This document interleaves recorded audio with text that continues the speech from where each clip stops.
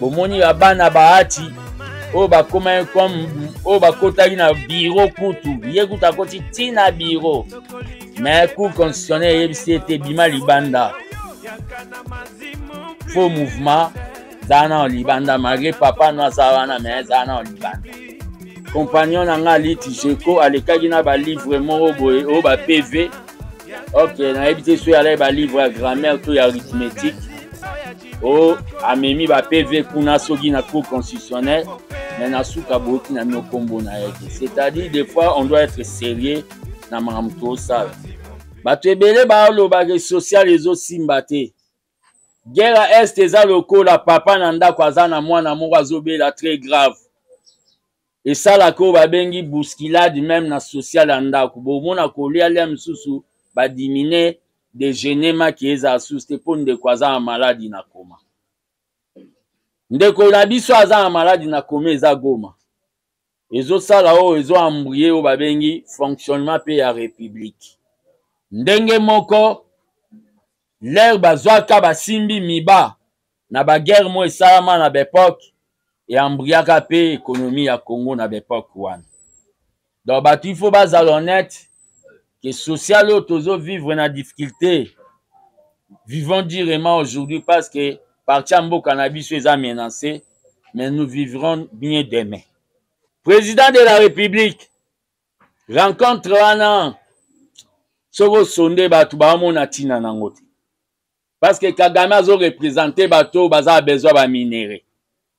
lorenzo akomi kobeta neti jeu ya distraction ya communauté internationale ya miyibi ya na baunion européenne kokutana na kagame nde bana wenge balobaka eza oyo babengi croisema desole kobota eloko te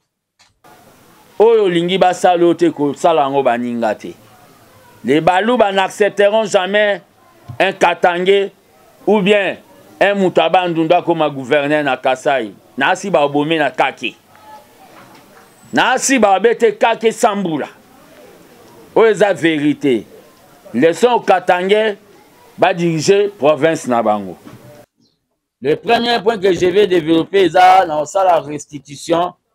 ya matinée politique ya honorable Augustin Kabuya, le secrétaire général, matinée politique oyo esetenaki le dimanche 10 mars 2024 na osala yango de manière synthétique parce qu'il y a un peu de points oyo bato bacomprenaki te je vais essayer un peu d'éclaircir ça mpe mingi na kati na bino bazalaki te c'est une occasion ya koyoka yango par un porte bouche ya augustin kabuya mwana bute notre secrétaire général d'abord point a eza oyo babengi travail na ye comme informateur il y a eu beaucoup de gens balekaki na babilobaloba oyo nalobaka baloba ke asalaki un travail bâclé c'est un incompétent lokola bango batanga na balouvain batanga na bavare lokola augustin kabuya atanga na, na, na université de commerce oyo eyalaki iec donc bango baleki biso Augustin Kabuya asalaki travail pendant 10 jours. Travail oyo constitution ezoloba eza 30 jours renouvelable mbala moko. So bato misusu baozwa yango cop akende yango vraimen 60 jours mpo abenda akoma nouveau riche. Asalaki na travail pendant 10 jours ya ko etudier oyo babengi configuration ya oyo babengi ba force oyo eza na kati ya parlement mais travail eyalaki bloqué na sens mpe mbongo oyo ebandaki kobima na trésor public astopaki yango na souci ya koboya oyo babengi gabeji mpe kopesa leson na bato ke aza oyo babengi un idepesien mwana ya tshisekedi astopaki mbongo oyo wana bapesaka informateur mpo pate ebimaka eza constitutionnel na travail wana alaki bloke bato mosusu baleki na batv balobi incompétence et consort no alaki bloke parce que il y avait des contentieux na niveau ya cour constitutionnelle parti mosusu nkombo na yo tatiana ezwaki 20 député mais lere bake batraite badossier ekomi na 6 député soki sikoyo afinalizaki travail parti tatiana alinga azwa 4 poste elinga ebima oyo babengi un travail bâcle e oyo babengaka haute trahison yango nde astopaki nao travail akendaki kopesa mokonzi ya mboka premier rapport bato ya babilobaloba baleki na bachaine ya bino mpo baloba ke incompetence lelo ese justifie leur cour constitutionnelle epublie oyo babengi résultat définitif baparti misusu babaskile bomoni babana bahati oyo bakomaki comme oyo bakotaki na biro kutu ye kutu akoti ti na biro mais cour constitutionnel eyebisi ye te bima libanda faux mouvement zala nao libanda malgré papa no aza wana mais zala nao libanda donc mpo bomona ke il a fallu bastope nao makambo cour constitutionnel eyungula ndenge esali ndenge moko mpe na bato mosusu batiaki bamakelele awa balekaki na chaîne moko ya confrère na bino oyo akoma kokende kokundola bato oyo balelaka lelaka na idps mpo alekisa bango oyo azalaka laborantin na omeko akoma journaliste atika microscope asimba micro motu moko alekaki compagnon na nga aliti jeko alekaki na balivre moko boye oyo ba pv ok nayebi te soki alaki balivre ya grammaire to ya arithmétique o amemi ba pv kuna soki na cour constitutionnel mais na suka boyoki na bino nkombo na ye te c'est-à-dire des fois on doit être sérieux na makambo tosala babiso bafisi miko toboyaki kopostule mpo tosala te pendant trois ans nakokaki koepargne te na etat ya malade oyo nazalaki donc on ne va pas dans une guerre pour échouer donc eh, namonaki kaka na soutenir na nga augustin kabuya ahonore nga mpe abimi na travail oyo tosalaki lelo makambo ebaskile idps ebakisi encore 5 député oyo bakotisa ye recours inc ebimi deuxième tony kankuna bato na ye babimi troisième afdc ebimi quatrième selon ndenge bayunguli na niveau ya cour constitutionnelle donc nde cour constitutionnel eyunguli wana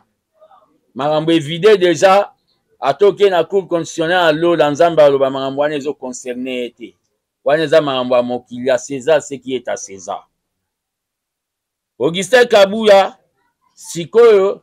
tokokóma na point premier ministre abima boyokaki bato ebele baoloba ke il est l'informateur et formateur tant que quelqu'un qui comprend babengi sociologie ya congo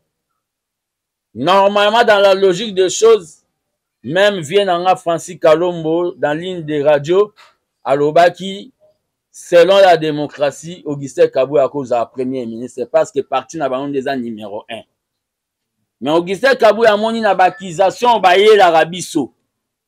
ke pouvoir ya baluba président aza moluba ye lisusu aya akoma premier ministre muluba bato wana bazwa yango sous cheval de bataille na bango pendant deuxième mandat alobi ke non il y aura un premier ministre oyo akobima na udps dans la logique des choses mais akozala moto ya ndinga mosusu akozala mungala comme akozala mokongo to moto ya bandundu akozala moswahili comme akozala oyo babengi donc muswahili donc natangi oyo babengi eh, bamboka donc mungala muswahili moto ya bandundu to mukongo baza na kati ya idps me augustin kabuya ayaki komanifeste oyo balobi ambition na ye ya kokoma oyo babengi vice premier, premier vice président ya assemblée nationale amanifestaki yango devant oyo babengi Le vice-president actuel professeur Mbata azalaki na matine. C'est-à-dire eza poste à vie te okosala otelemi mosusu mpe akoti asali. C'est ça l'UDPS. Par rapport na situation ya guerre à Est, mpo balobaka ke udps ekipa mambo ya este te augustin kabuya adefinisaki guerre oyo eza guerre moko baobenga complot international Complot international dans quel sens? Bomoni bino monde Union européenne esali oyo babengi ekende osala contrat ya ba minerais na Rwanda. Ebimi na mpwasa. Yango nde na bashi na nga mona atyaka naloba na bino que voici les complices. C'est l'Union européenne, c'est les États-Unis, la France et l'Angleterre. Bango nde baosala complot wana. Ebimi mpe na mpwasa lelo, Pologne basali bango contrat militaire, l'un des pays de l'Union européenne. Contrat militaire na oyo babengi Rwanda. Na yango,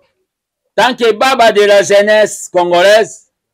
nazo lancer appel na ba militaires na biso bazolanda nga na front. Cette guerre eza guerre moko boye eza guerre mo mindele baza na nsima nango à cause ya coltan oyo esalaka esungaka batelefone na baordinatere na lithium oyo ekosala babateri c'est-à-dire mindele baosala biso guerre baotinda mwana mosala na bango moyibi paul kagame moto ata ameli c4 oya monene te ayibela bango matière bazwi mwa ba congolais lokola ba, ba corneille nanga ba sans esprit na ba jean jacques soki oyo awutaki epa mbemba oyo awutaki mlc bazwi ba congolais moo batie bango wana ke basala oyo babengi rebellion na m23 na uganda donc guerre moo boye bapeye beye baa na kati na cadre oyo kaka ya guerre ya est bato ebele baoloba ke social ezosimba te guerre ya est eza lokola papa na ndako aza na mwana moko azobela très grave esalaka oyo babengi bousculade meme na social ya ndako bomona kolia lia mosusu badimine dejeuner maki ezala susu te mpo ndeko aza na maladi na koma ndeko na biso aza na maladi na koma eza goma ezosala oyo ezo embrouye oyo babengi fonctionnement mpe ya république ndenge moko lere bazwaka basimbi miba na baguerre mo esalama na baepoke eambriaka mpe ekonomi ya congo na baepoke wana donc bato ifo bazala honnete que social oyo tozo vivre na difficulté vivons durement aujourd'hui parce que parti ya mboka na biso eza menacé mais nous vivrons bien demain nakoki koleka te na, na makambo ya guerre oyo eza sikoyo point de vue na ngai ya augustin kabuya te boyokaki makambo ya est kagame alingi bakutana na président lorenzo nde aye na makambo wana position na nga tant que patriote baba de la jeunesse eza boye kagame aza mwana mosala ya mindele se prouve noir sur blanc kokende kokutana ne nakomi omona yango eza ne to babengi passe temps ça je m'adresse au président de la république avec tous les respects Parce que je suis obligé de le dire, son alobi yango te na olala bien te, Tshisekedi le père aoya ofina nga na kingo. Il faut kaka naloba. Président de la République, rencontre wana soki osonde bato baomona ntina nango te. Parce que Kagame azo représente bato oyo baza besoin ba minerais. Lorenzo akomi kobeta neti jeu ya distraction ya communauté internationale ya miyibi yana ba Union européenne. kokutana na kagame nde bana wenge balobaka eza oyo babengi croisema desole kobota eloko te mpo ye azosala na ecope ya bato wana bainstitution ezovanda sala projet ya déclaration ya guerre benga oyo akozala so pepe mboso so pepe bahati yebisa bango basangisa de chambre déclare guerre déclare guerre na rwanda déclare guerre na communauté internationale wana Guerre wana leo yo o declara yango na minute oyo yeba ke ndenge oza wana mokonzi ya mboka Fatshi oza oyo babengi president ya ba congolais vivant na baoyo bakufa ba kimbangu na ba kimpavita okomona na baoyo bakufa bakokota guerre wana c'est à dire declare guerre na rwanda ekoma officielle parce que trop c'est trop makila esi etangi ekomi okokana na fleuve congo océan du sang déclare guerre na bango luanda wana eza bagymnastique moko diplomatique oyo ekobota nango eloko te yango nde na cadre na nga tanke baba de la jeunesse nazolanse appel na bamouvement nyonso associatif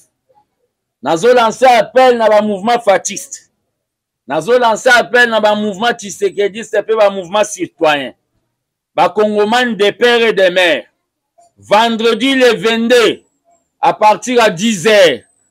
nazo organise oyo babengi marche contre l'agression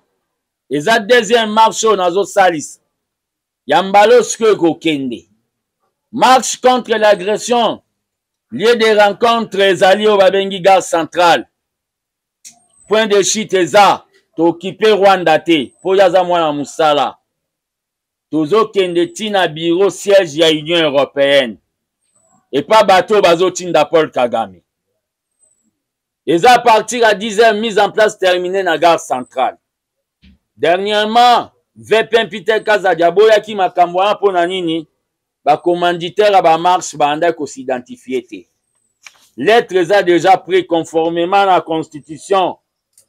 lettre eza deja pris conformément na constitution na article na yango 26 oyo ezosenga to to informe hôtel de ville donc le gouverneur actuel gentini ngobila akozwa lettre ya information mpo baancadre marche dans la discipline via tokende union européenne 10 heures mise en place terminée makolo mpe se ebandi daa kotambola ça ne sera plus na oyo babengi chaise roulante mbala oyo par rapport na makambo ya bagouverneur oyo ezocree débat makambo ya bagouverneur jeu oyo tobetaki mbala oyo eza place oyo parti moko ebimi na badepute ebele bango nde bazwa gouverneur titulaire oyo balandi bango nde bazwa adjoint mais il se fait que polemique moko ezosalama au niveau ya katanga Nazolinga na ya Clexi batoto ya Katanga tant que baba de la jeunesse descendant ya Kingwa Kumwanza. Nazoloba na ba, bab, nazoloba na bango descendant ya baba Kingwa Kumwanza. Nazoloba na batoto ya Katanga bamanipilatere bato badeformaka bainformation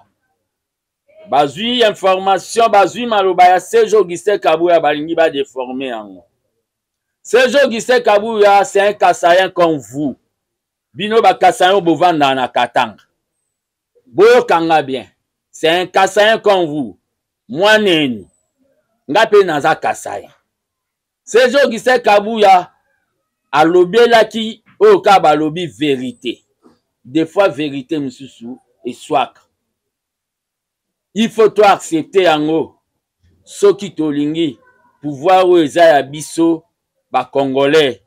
evanda na kimia. Il faut to éviter ke ba ethnie misusu bamona ke biso baluba nde tolinga kosala domination il faut to souffrir na makambo misusu parce que moko na biso nde aza na tete ya pays donc il faut tosala oyo babengi ba concession na makambo misusu ndenge mama kolo mwana liboso ya salomon alobaki te bopesa ye mwana susi wana nde ifo tozala nango serge augustin kabuya alobi boye le baluba basalaki oyo babengi immigration bapapa na bango bakendaki kosala na jecamine nde bakendaki kosala na jecamine makambo etali pouvoir na katanga etali bango te c'est une verite ndenge moko mpe na kinshasa awa C'est difficile bomona na niveau ya Kinshasa bazwa un muluba batya ye na tete ya Kinshasa ezayele pasi mingi bangunza baolinga yango te eza mabele ya bateke na baumbu bato bakozwa yango mwa moke eza bato ya bandundu to bato ya bakongo eza mpe ndenge moko na idps suite kaka na bamakambo misusu nde muluba ayaka kokoma secrétaire général wana cité alexis mutanda na lelo kabuya aza secrétaire général mais selon le père poste wana eyalaka ya bakongo ezalaka ya oyo babengi bato ya bandundu tomona yango docteur pongo premier secrétaire général tomoni remi masamba toye tomoni brino mavungu etournaka mingi se bato ya leopoldville oyo babengaka kinshasa bandundu seze kabuya alobi ke na bareunion ya bakatange bamonaka représentation moko te ke ya etini luba na kati bato ba manipulaka makambo baleki na ba chaîne ya radio baloba ke ateni ba propos moko non c'est une verite jamais na kasai na format nango ya grand kasai bamona un katange akende kokoma gouverneur kuna na asire les baluba ne vont pas accepter ça même dans même pour 30 secondes bakolinga yango te ndenge moko mpe na basankuru toujours na kasai bamona un muluba non mutetela ake kokoma gouverneur kuna bakolinga yango te ndenge mona équateur c'est-à-dire régime, régime oyo efavorise baautochtone Serge Kabuya alobi wana alaki parmi ba exemple. Serge Kabuya alobi Serge Kabuya alobi il y a eu même d'autres baluba mpo bakende basintegre na katanga bakiza balubo batikala ye na kasai ke bango bakimi bango mpo na kindoki eloko wana bazwi yango bainterprete yango bato mosusu baoleka na bachaîne ya baradio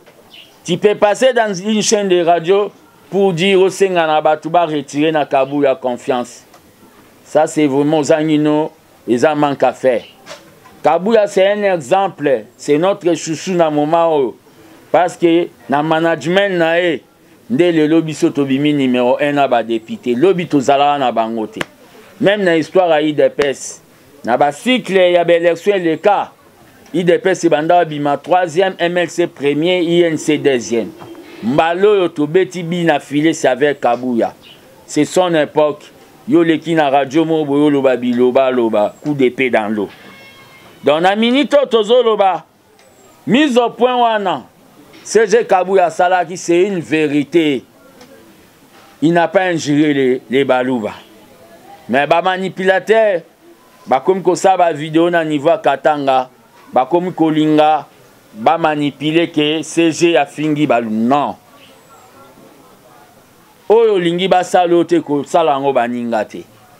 les baluba n'accepteront jamais un katangais ou bien un moto ya bandundu akoma gouverneur na kasai naasi babomi na kake naasi babete kake sambula oyo eza verité leson katange badirige province na bango leson ete mpe na oyo babengi na cadre ya union sacré na jacques kabula wandani pour votre information na système de jeu tobetaki ya panza jeu mpo totya bii tosalisaki ba mosaïque mosaïque ya jacques kabula wandani wana eza ya biso udps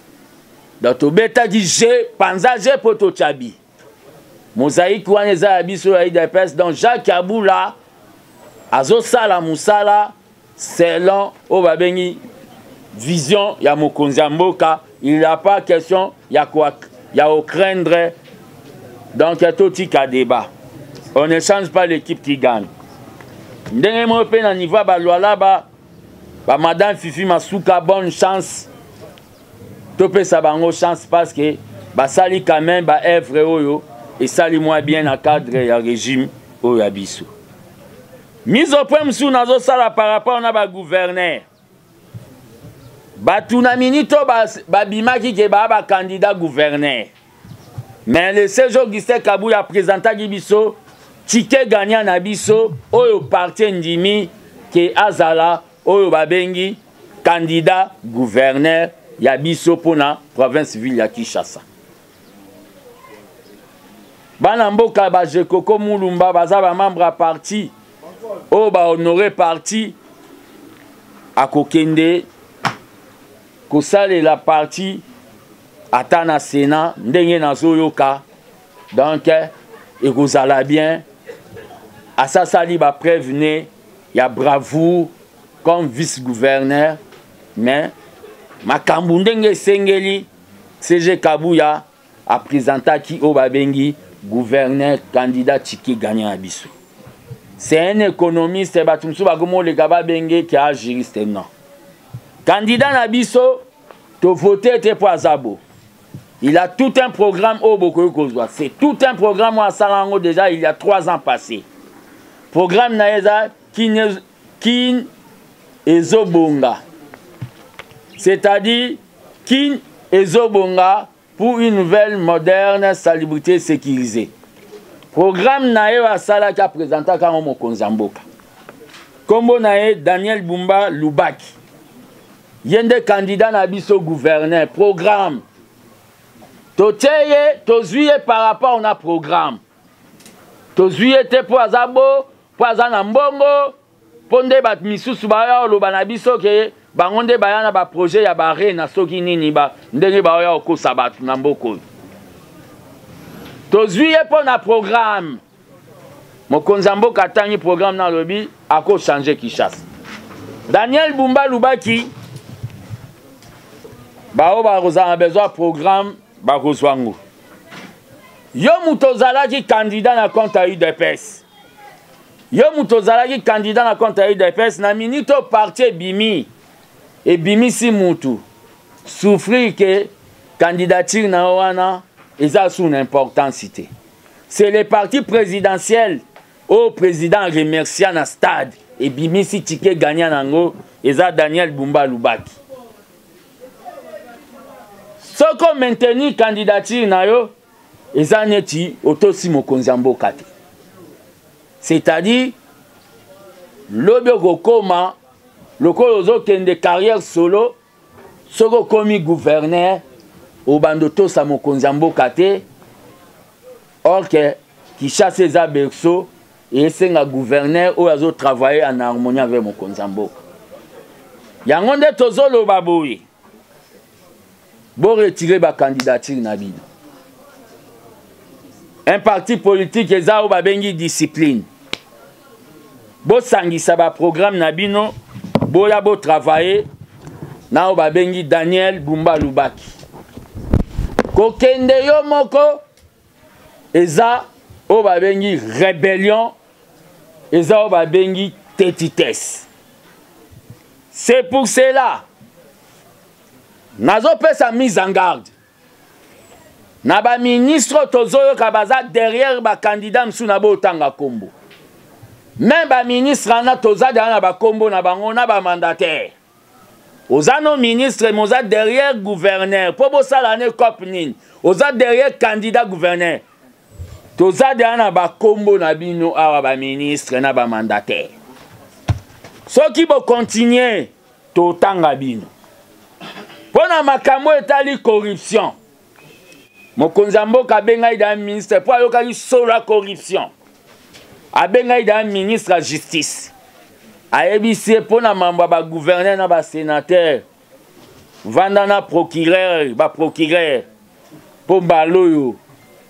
nalingi namona te bato moo baza corrompi yo moto okoya na mambo ya corruption so batyo maboko makala toyebi bino ke so bokoti makala bokotaka bien me so bokomi kuna bobelaka mpo bamema bino poto mbala oyo tokomemelo banovalgie na baspirine kuna okei okay, poto te mpo bokotaka bien so bosali bainfraction kuluna so akoti makala ata beli asipotaka me bino 4 mingi bokoka yango te me koyiba na corruption bino bale premier yango nde nazoloba boye tellement yo ministre nalobi naza na deya na bakombo na bino bato oyo bozosoutenir bakandida ya baétranger un candidat gouverneur mais asa asololi na communauté mo étrangère ke Bo soutenir nga bo pesa nga ebela mbongo so na komi gouverneur bino bo bando futa su ba taxes te. Toyebi yango déjà. Donc toyebi yango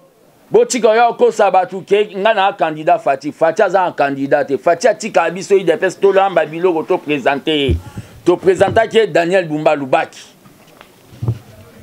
c'est-à-dire topresentaki ye ye topresente na matinée politique bina file tozoloba boye mokolo ya mobili mokolo mokolo oyo ya election ya gouverneur combattants et combattants force du progrès discipliné tokozala biso nyonso kuna na oyo babengi assemblée provinciale tokozala kuna dans la discipline mpo totala travail to observe ndenge ekoleka tokozala kuna bose prépare déjà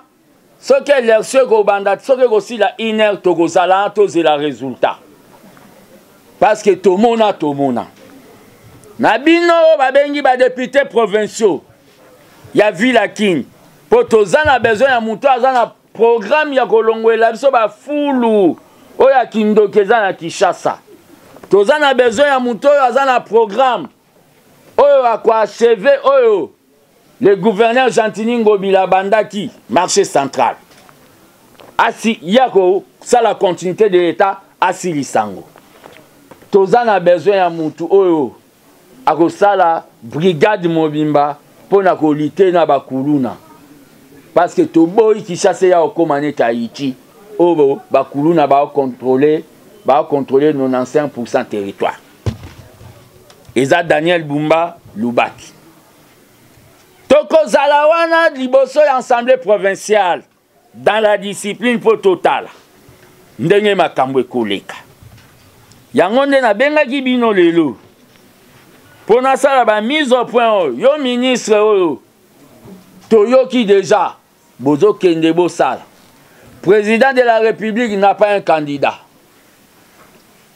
botika okosa bacombattant na bino baprovinciaux mpo nasilisa baye bozwaki bambongo ya bato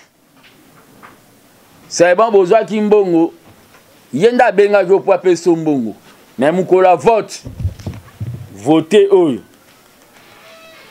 na bino mpe bato bozwaki bambongo ya bato oyo tokobimisa o gouverneur cg kabuya alobaki boke ezongisa yango me nayebi ke bosi boliaki yango le bozwaki bambongo ya bochangeaki regime botikaki matembele bokomaki na bapulekaki basoso bokende osala ata decharge parce que na minute oyo tike gagna na biso ye yeah. bayeba misusu oyo boyokaki ke baza bakandida na cadre ya comité de gestion des ambitions kala te bokomona place oyo tokoplace bango merci beaucoup na ndenge borépondre nombreux na baorgane na bino ya presse mpo boya koyoka baba de la jeunesse rendez-vous eza mardi rendez-vous eza vendredi le 22 vendredi le 22 tokutana na gare centrale à partir ya 10 heures tokende ti na siège ya union européenne bato baotinda paul kagame abomaka bandeko na biso na este mpo na baminerai na biso je dis et je vous remercie